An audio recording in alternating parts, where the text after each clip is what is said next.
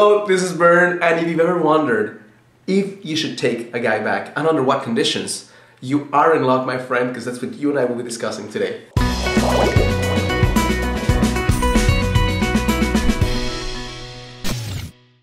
Hello, this is Bern. Welcome to your great life greatlifetv.com. Today is another edition of Get the Love You Crave, and today I'm going to be sharing with you under what conditions and should you even take a guy who messes up back. Here's a situation. A guy you really love or you're really in love with messes up in a big way. He says something he shouldn't have said, he does something he shouldn't have done, and you feel really hurt inside.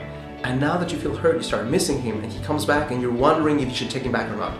I'm gonna give you today three questions you must be willing to successfully answer if you want this to last long term versus have something that's gonna be even more painful in the future. First question you need to answer is why are you taking him back? I'm being completely honest, if the number one reason why in your heart of heart you're taking back is because you believe that you will not find someone as great in the future, that is the worst reason to take someone back. If you're taking the guy back because you really love him, that's the wrong reason to take him back. Not that love is not important, but love is not enough. He needs to love you and respect you in addition to you loving him. So be really willing to answer this question and come up with a long list of reasons why you want to take him back. Second uh, question is what has changed? Has he felt your pain deeply enough? Does he understand how much it hurt you? Does he have the capacity to create a change? Are you in love with this man's potential more than you're in this, love with this man's reality of how he shows up in the world? Because here's the thing unless something has dramatically changed, including him feeling your pain at the deepest possible level, this is going to repeat itself.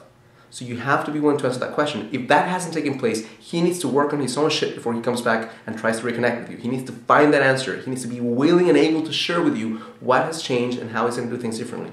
Third question you must be willing to answer is what are the new boundaries you will have to set up so that you can safely share your heart with someone without risking getting hurt at the deep, deepest possible level. Of course, you're still risking getting hurt, but can you do it smarter?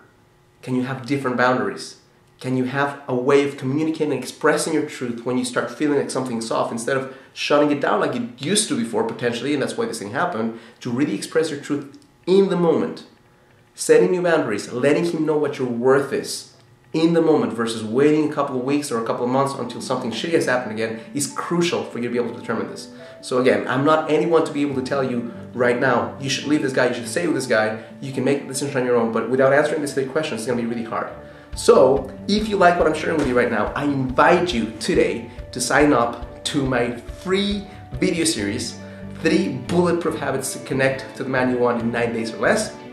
You can do it very quickly through signing up below. Super simple if you're watching me on YouTube or uh, yeah, YouTube, just click like on the YouTube like button, subscribe to my channel, add a comment below, and I look forward to connecting with you through my email list, through videos, through the comments. Thank you so much for allowing me to share this with you, and I challenge you as always to live a full and conscious life.